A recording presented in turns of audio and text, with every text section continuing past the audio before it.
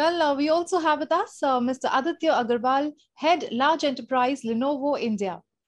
Aditya brings with him many years of diverse experience in technology marketing.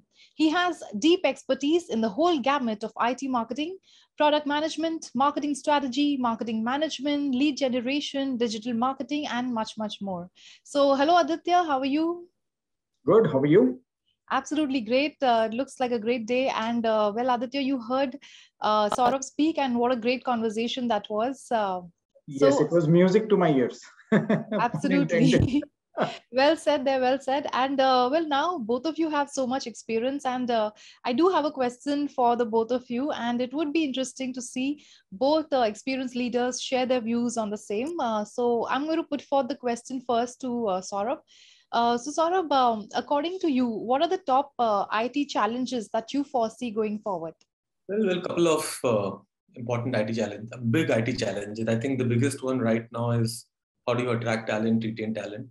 Okay, that's that's the biggest challenge. And and with this work work from anywhere, how are you going to grapple with the cultural challenge, which is going to become bigger with time?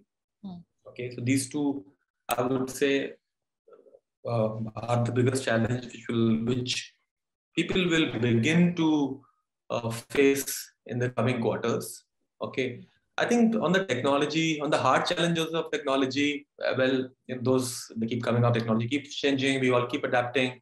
10 years ago nobody was talking about big data ai ml all of that came through and i think we all we all accept uh, adjusted ourselves upskilled ourselves to those. So for me the hard challenges of new technology is not so much an issue as these uh, softer challenges of talent management and culture are.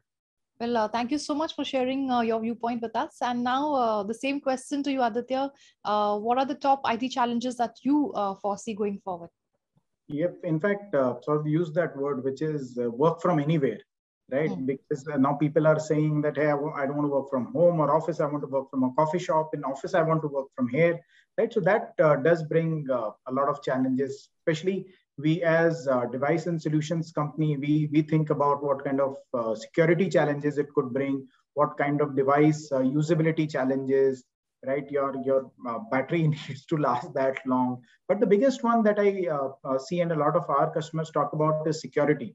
And in security also, you know, I don't know if uh, Saurabh would agree with me. I think people are trying to find a balance of user experience and uh, uh, this level of security right? Because you can you can get alcatraz kind of experience by saying nothing is allowed right? But then people uh, you know uh, start leaving or they start complaining. And this kind of works on the whole hiring and retention of key employees also right? Because the industry has been uh, you know facing that challenge so uh, i believe that um, getting that balance right is a big challenge that i often see you know companies talk about but yeah, yeah. Uh, apart from that human challenge of how do we get back to hybrid, how much of office, how much at home, how much of somewhere else, I think these are uh, you know some challenges that we as a device and solutions company keep thinking about. Absolutely. So um, very well said, Aditya. Thank you so much. And uh, gentlemen, uh, thank you so much, both of you, for sharing your thoughts. Um, and uh, to all our viewers who are enjoying this conversation, there's still uh, more coming up. Uh, stay tuned. But uh, we will be back with many more stories. this is the Economic Times Cutting Chai Stories.